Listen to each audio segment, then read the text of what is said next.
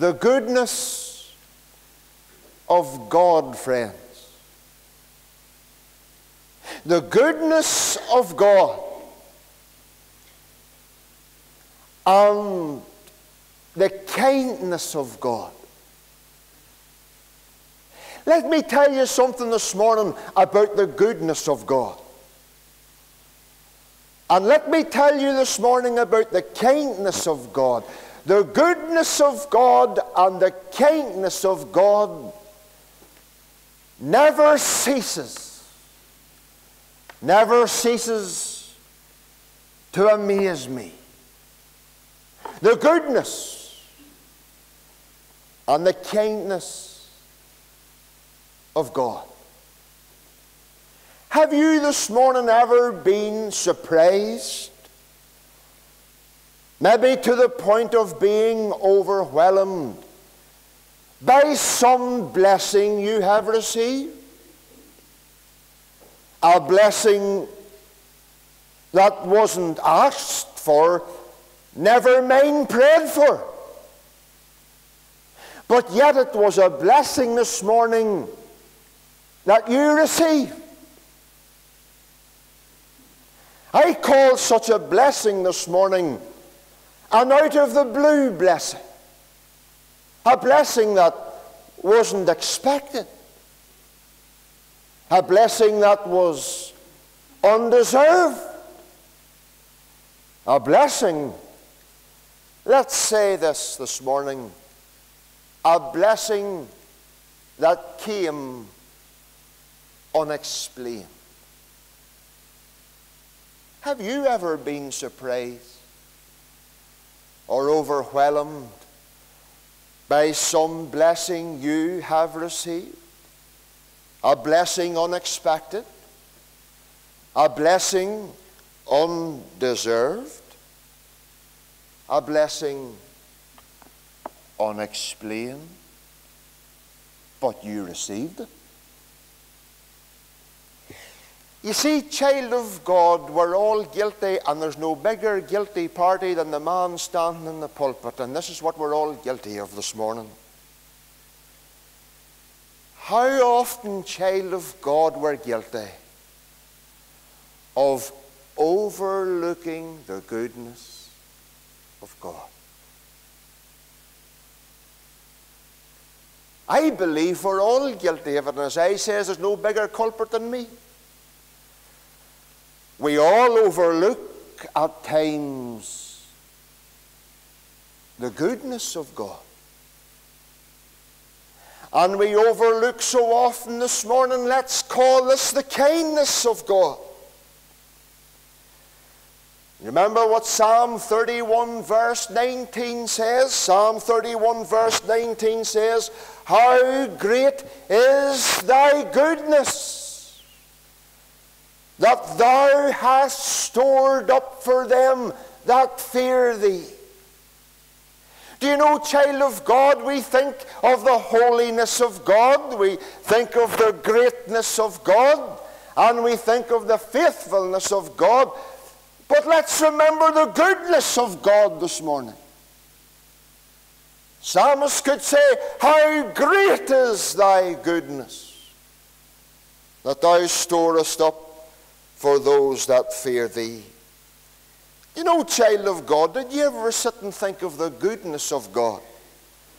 Never mind the glory of God or the greatness of God, but have you ever thought this morning concerning the length of the goodness of God? For mind you, the Bible talks about the goodness of God and the length. It says in, in, in, in Psalm 52 and verse 1 it says, The goodness or, or the goodness of God endureth continually. My friend, the goodness of God doesn't stop and start. The goodness of God endureth continually. The goodness of God. That's the length of the goodness of God. It continues and endures continually. But I wonder, did you ever sit and think not only of the leading concerning the goodness of God, uh, sorry, the length, have you ever considered the leading of the goodness of God? Because it says in, in, in, in Psalm 52 and verse 1, it says, The goodness of God leadeth thee to repentance. Now, child of God, before we continue, have you ever considered this morning concerning the goodness of God in your life and the goodness of God in my life? Have you ever, this morning, child of God, not only considered the goodness of God, have you ever considered the kindness of God? Somebody mentioned the prophet Nehemiah in their prayer this morning, and in Nehemiah chapter 9 17, Nehemiah himself said that God is a God of great kindness. Psalm 31, verse 21, it says, Blessed be the Lord who hath showed me marvelous kindness. But you know the problem, child of God? We get so focused on the burdens of life. We do. We get so focused on the burdens of life. And because we're so focused on the burdens of life, we get filled with pity. And we can sometimes get filled with bitterness when you focus on the burdens of life. And instead, child of God, of focusing on the burdens of life, let's get focused on the blessings of life. And the blessings of life, you'll begin to fill up with praise and with blessing.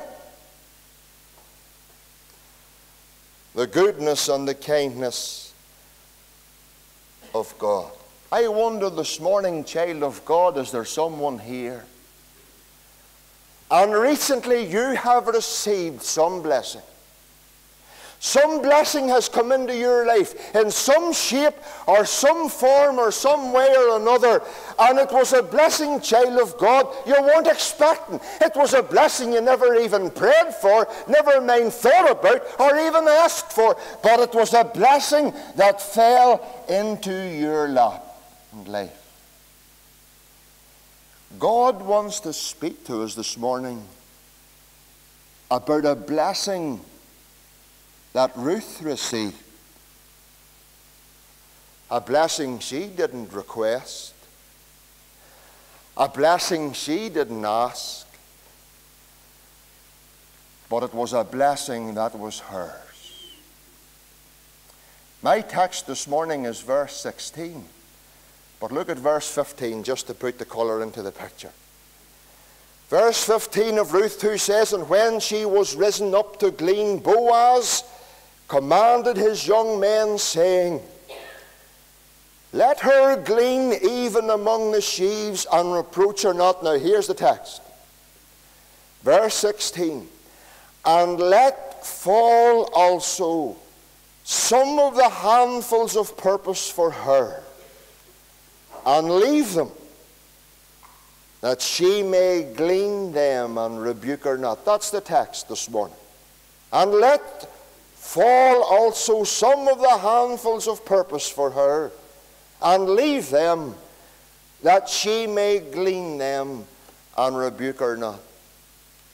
You know what I learned this morning when I was before the Lord over this verse?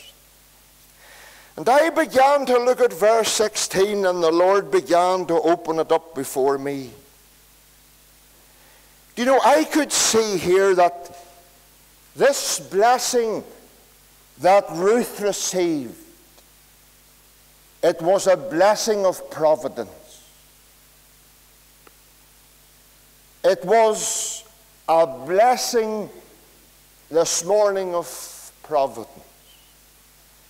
A well known hymn goes like this God moves in a mysterious way, his wonders to perform. And as we study this morning, and for those of you, I'm sure the majority of you know the story of Ruth, you'll find that God moved in a mysterious way in her life. And sometimes God moves in such a mysterious way that sometimes we cannot even find the hand of God when God begins to move. You remember how the story of Ruth begins, don't you? It was a story this morning that bereaved, that began with bereavement and loss. And she comes out of Moab. She arrives in Bethlehem. The poor wee woman, the crater that she lives, she's, she's broken by bereavement. She's penniless by poverty and she's fearing the future. And she cannot understand, perhaps, why her world has been turned upside down. And yet, in all, child of God, Yet in all, God's hand was there. You see, sometimes, child of God, we forget about the sovereign providence of God that controls our lives. And sometimes things happen to us. We cannot understand why, and there's no answers, and sometimes we seek God, but there's the heavens are silent. But Ruth comes, and Ruth comes up to Bethlehem, and she says to Naomi, Thy God shall be my God. And I want you to think, child of God, when the difficult times of life comes and the dark times, it's so difficult to see the hand of God at times, and sometimes the hand of God is hidden by a very dark and gloomy glove. But you know, child of God, this morning, one thing we'll learn is this the hand that sometimes breaks is the same hand that blesses. Divine providence and sovereign providence always works for our good, even though we cannot see it. As Ruth, Ruth gleans in this field this morning, Ruth knows absolutely nothing about the decisions that Boaz was making. Behind the scenes, Boaz was, was looking upon her, and behind the scenes, Boaz was making plans that would affect the rest of her life. But while Boaz was making these plans, Ruth was oblivious to anything that was going on. She knew nothing of his plans of blessing for her. This was a concealed plan. She was to know nothing of it. She was to receive the blessing that was commanded by Boaz. You see, Boaz took note of Ruth. She took, he took notice of her. Child of God, as you and I serve the Lord in the field of grace, I want you to know this, and God wants you to know God takes knowledge of you that you're there. And instead of being taken up with the bitternesses of life, do you know God has His blessing in store for us? Jeremiah 29, verse 11 For I know the thoughts that I think toward you, saith the Lord, thoughts of peace, not of evil, to give you an expected end. He says, My thoughts are not your thoughts. Neither are my ways your ways, saith the Lord. And you know, like Boaz, sometimes God works behind the scenes of our lives. Do you remember Joseph? In Joseph Genesis chapter 37, you remember it was Joseph's brethren who sold him into slavery, who done a very wicked and a very evil deed. But in Genesis 50, looking back then, he could say, Yes, you meant it for evil, but God meant it for good. Looking back, Joseph could say that was a blessing of providence. God was at work even when we couldn't understand what was going on. But look at this wee text again. Here's the command and let fall also some of the handfuls of purpose. Here's the cause for her. Listen this morning. Poor Ruth, she was a stranger came up from the land of Moab. There was no reason as to why Boaz should show her kindness. But yet he did. And this this morning, the blessings of the handful of purpose, they came to her by the hand of grace. You know, child of God, the handfuls of purpose that fall into your life comes from the hand of providence. These sheaves that fell, they were a blessing of providence. I want you to look secondly, they were a blessing of provision because it says in the text, look at it again, and let fall also some of the handfuls of purpose for her, and leave them. Leave them for her. You know, Boaz comes to the reapers and he says to the reapers, See that young Moabitess woman there? Yes. Do you see when you're gleaning your sheaves? Uh huh, yes. Listen, drop a few for her, will you? Drop a few for the wee Moabitess girl there. Don't be saying nothing to her. Don't be saying nothing to anybody. You, you drop them for her. And when you pack the sheaves up onto the cart and the oxen goes out through the gate there, and you know the way the oxen, the, the cart would give a bit of a rattle, if nothing falls off, listen, fire a bit off, it's for her. The blessing of provision. And I wonder this morning, child of God, what provision has God blessed you with?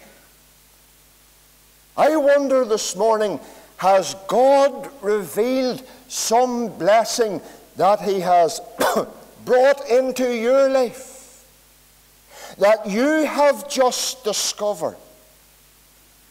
A blessing this morning, child of God, that has been revealed to you a blessing perhaps that has taken you by surprise. Many years ago, in the late 1850s, at the coal mines in Sheffield, a railway used to come out of the coal mines. The coal was delivered by train.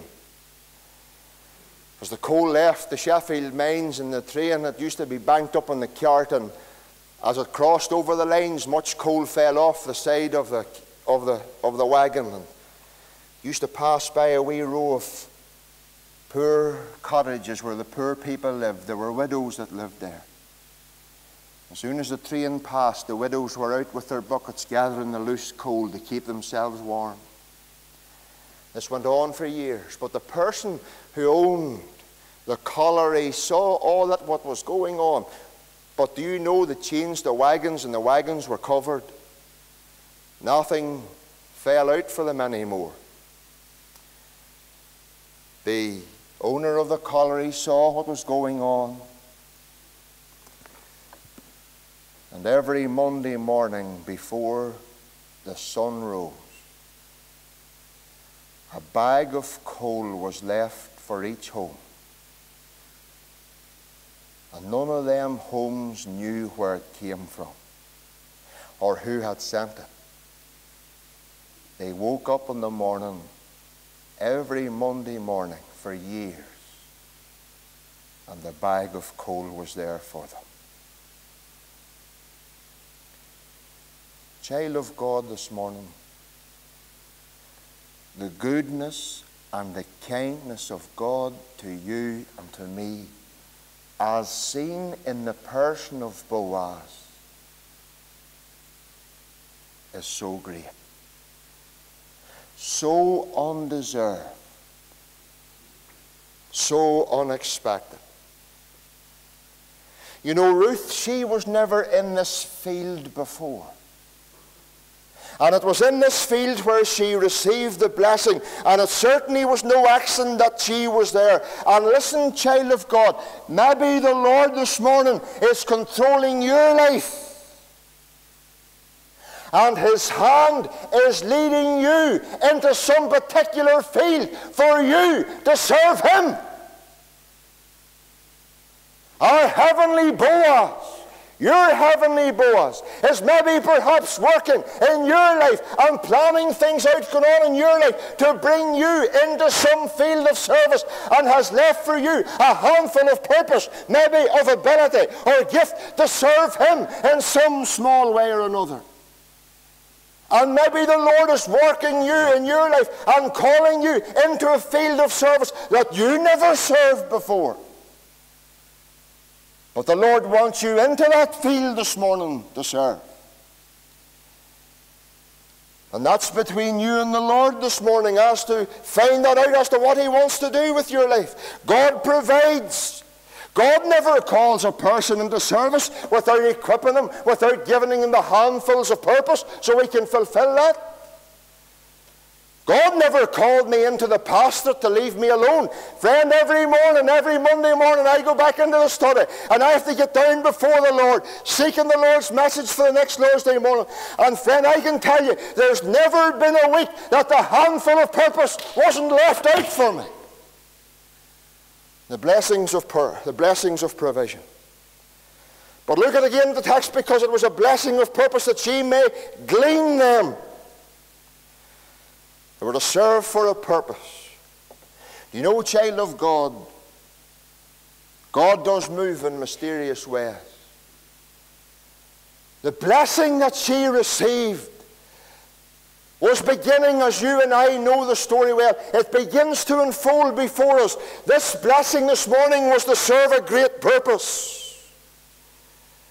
The pieces of the jigsaw, as we can see them, comes together for, the, for a sole purpose. God was working his plan out. Listen this morning, child of God. With God, there's no accidents. You remember that? With God, there is no accidents, only incidents. Incidents that God brings in to work out his purpose for your life and mine. Wonder what blessing this morning. I wonder what handful of purpose the Lord has dropped into your life. Wonder what handful of purpose the Lord has left for you to glean so that you can serve Him, that you can serve Him so that you can glorify Him. Listen this morning. The enemy doesn't attack your provision, he always attacks your purpose because the purpose is to glorify the Lord. But you know, child of God, this morning, as we look at Ruth's story, the blessing of providence, the blessing of provision, led to the blessing of purpose because the whole jigsaw puzzle that God was bringing together was to bring Ruth into line concerning the genealogy of Jesus Christ. Friend, it's God this morning. It's God's hand that always wears the glove of history. God fulfills. God brings about his purposes for every life. I'm going to finish with Ruth's blessing. I want you to notice this this morning. Look at verse number, number 17. So she gleaned in the field until even, and beat out that she had gleaned, and it was about an ephah of barley. Now look at this wee bit, and she took it up. She took it up. Will you notice her position? She's gleaning. She's down low. She's bent down low. She's close to the ground. That's how you glean, you know. In order for Ruth to receive the blessing this morning that was left for her, she had to get down low to receive it. It says she took it up. In order for Ruth to take it up, she had to get down low to retrieve it. A humble mind, a humble heart, a humble soul, a humble life. Will not always see, but will always appreciate the blessing that God has for them. Too many of God's people are filled with pride, self importance, and they tramp on through the field of life unrecognizing the blessing that God has for them and that could have been theirs but they fail to recognize it and they fail to receive it because they weren't low enough to take it up.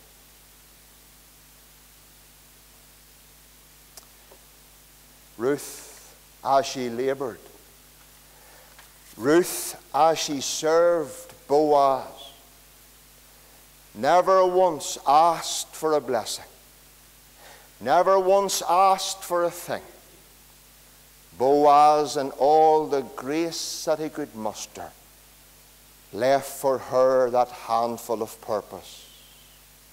Undeserved,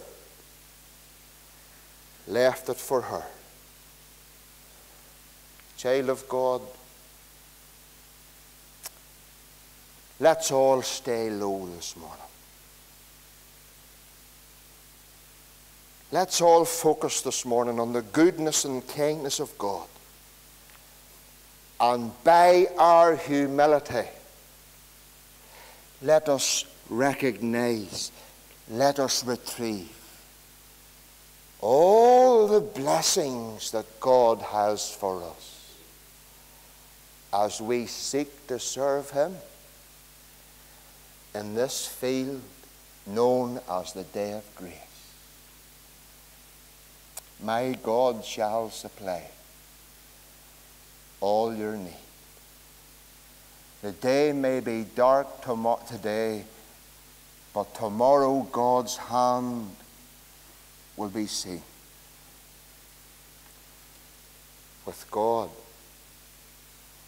the dark days of life belong as much to Him, and He controls the dark days just as much as the bright day to bring you and I into that place where we can serve Him and fulfill His purpose for us. May you this morning, please, and let me as well, let us really look out for the blessing that comes from the goodness and the kindness of God. May God bless His word.